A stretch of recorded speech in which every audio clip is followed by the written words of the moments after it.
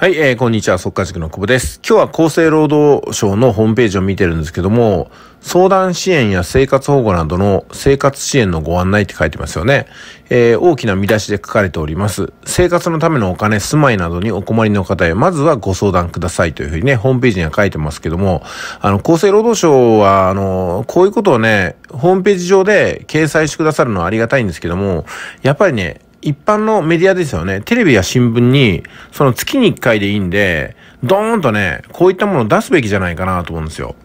ね、厚生労働省がね。できないことはないと思うんですよ。なんかね、いまいちね、厚生労働省も生活保護を払いたくないように、払いたくないようにやってるように私は思えてならないんですよね。えー、それがね、何よりも生活保護費に現れてるわけですよ。その月に10万とか15万だと聞いてるんですよ、私はね。いや、それでね、十分な暮らしを送っていけるのかと思うんですよ。で、こういうことを言うとね、医療費が免除されてるんだとかなんか余計なこと言う人いるんですけども、それを言ったってね、医療費って結局免除になってるだけで、健康に暮らしてる限りは何のメリットも受けれないわけですよ。それこそね、私たちは暮らしながら、体を壊したりとかってことめったにないわけじゃないですか。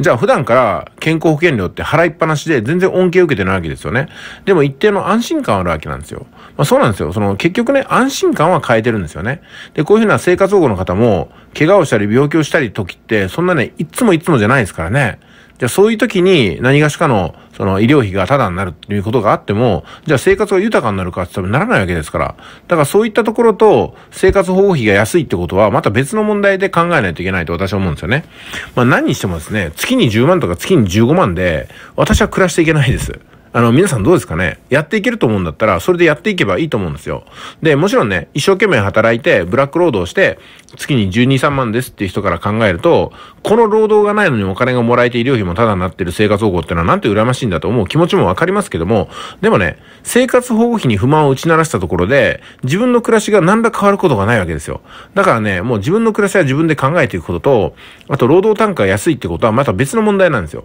今回はね、生活保護のその状態ががもうね、これ生活保護してないんじゃないかなっていうテーマでお送りしてますんで、誰かと比較してどうとかね、どっかで働いてる人は朝水垂らしてって問題ではないってことと、もう一つは、生活保護の財源は税金ではないってこと。ね、これをね、よく認識した方がいいと思います。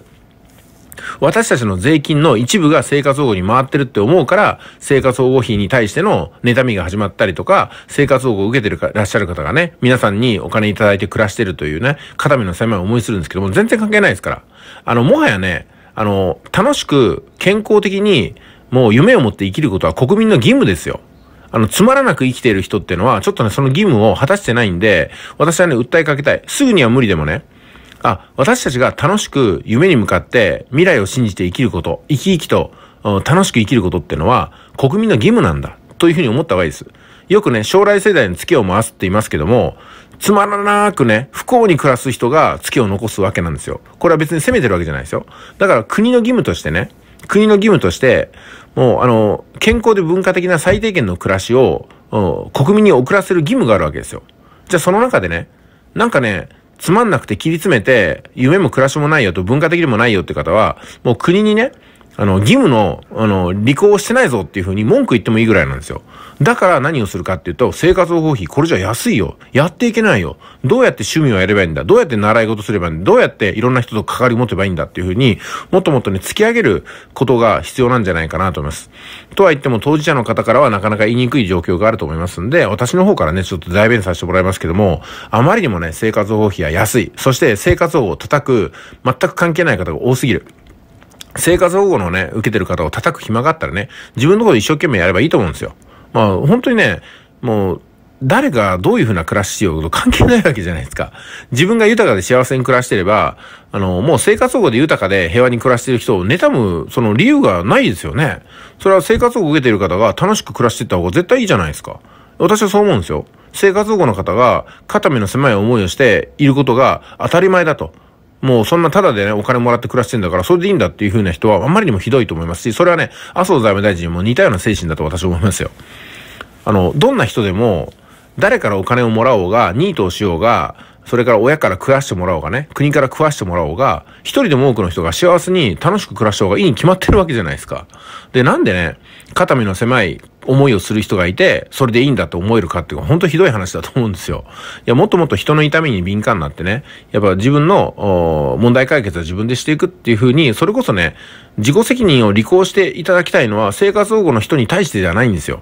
もうその人を妬むとかね、うん、なんかこう自分が損した気持ちでいるっていうのが、まさにね、もう完全に仕向けられてるっていうか、もうそうではないんですよね。なんかどういう風な表現をしていいのか私も探せないんですけども、あの、生活保護の方はとりあえずね、ちょっとこれではね、あの、何の希望も持てないと私は思うんですよ。だからもっともっと、あの、声を上げていかないとなと私も思うんで、この新生活保護っていう制度をね、活用してるんですけども、活用っていうか活用じゃないわ。発信していってるんですけども、まあ少なくとも私は現行の生活保護の制度ではもう今のね世の中に合ってないと思うんですよ。これはどうですかね？これは生活保護の方にいろいろな文句言いたい方も、あの、ご理解いただけると私は思うんですけどもね、今のこの世の中の生活保護、これ合ってないと思いますよ。もっともっと生活は本当に保護されるべきだし、生活ってただね、食べて、寝て終わりっていうのが生活保護じゃないと思うんですよ。たまにはね、やっぱりあの、大好きな友達のとこにも会いに行きたいとかね、同窓会に出席したいとか、焼き鳥を食べに行きたいとかね、服を1年に1回ぐらい買い替えたいとかね、なんかそんないろんなことがあって人生だと思うんで、うん、ちょっと今の暮らしではね、切り詰めてやっと生きてるみたいな暮らしでしょ。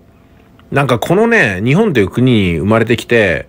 何なんですかね生活保護だけはそういうふうな思いをしても当たり前だと思うような風潮は。いや、私は生活保護を受けてる方だってね、自由闊達に、たまにはね、なんか、商品買って、あ、これいらなかったなっていう無駄遣い。ほら、当たり前の人生じゃないですか、こんなのは。ね。あの、誕生日のプレゼント、それからクリスマスパーティー。そのぐらいは、うん、やっぱり生活保護だろうと、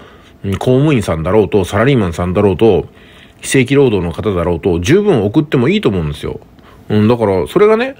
うん、なんかお金がないっていうことで苦しめられるような人生があっては私はならないと思うんですよ。もちろん無限に豊かになりたいっていう人はもう自分でやってくれっていうふうに思う。それが自己責任だと思うんですけども、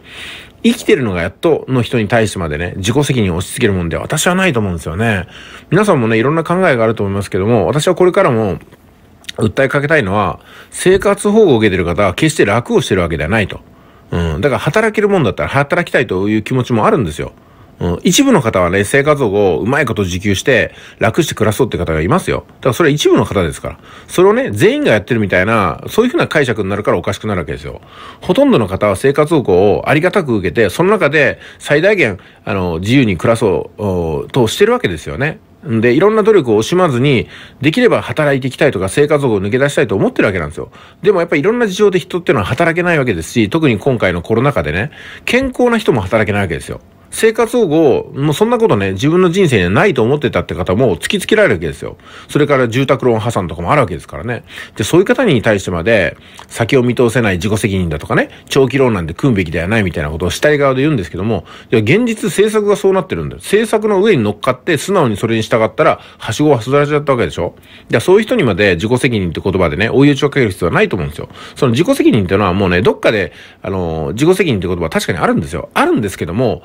今ね、もうひどい目に遭った人に対して、自己責任だとか言ってね、それこそ、あの、病人の布団を剥がすようなことを言わない方がいいんじゃないかなと私は思うんですよ。これ生活保護っていうのははっきり言って誰にもなる可能性がありますからね。うん、だからといって生活保護を別に用語立てまするってわけじゃないんですけども、人権と生活保護ってのは全く別ですから。生活保護を受けてようが、責めていいことになりませんし、生活保護を受けてようがね、あの、貧しい暮らしをして当たり前だっていう、そういうふうな古い価値観はもうね、やめてですね、生活保護の方だって楽しく、自由活達に生きる権利は絶対あると思うんですよ。私はね、そこだけは譲れないんで、この放送をさせていただきました。あぐだぐだとね、勝手なこと喋っちゃいましてすいませんでした。まあ以上なんですけども、ちょっとでもね、私の思いがどっかに繋がればなと思って、え、今後もこの活動を続けていきたいと思います。